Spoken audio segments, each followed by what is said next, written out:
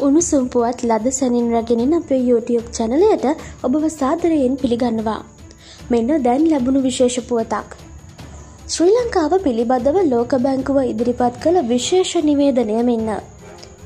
ප්‍රමාණවත් සාර්ව ආර්ථික ප්‍රතිපත්ති රාමුවක් ක්‍රියාත්මක වන තෙක් ශ්‍රී ලංකාවට නව මූල්‍ය පාසුකම් ලබාදීමට ලෝක බැංකුව සැලසුම් නොකරන බවත් ලෝක බැංකුව ශ්‍රී ලංකාවේ ජනතාව ගැන සැලකිලිමත් වන අතර ශ්‍රී ලංකාවේ ආර්ථික ස්ථාවරත්වය යථා තත්ත්වයට පත්කිරීම සඳහා සුදුසු ප්‍රතිපත්ති පිළිබඳව උපදෙස් ලබාදීමේදී IMF සමඟ සම්බන්ධීකරණයෙන් කටයුතු කරන බවත් ප්‍රකාශ කර ඇත.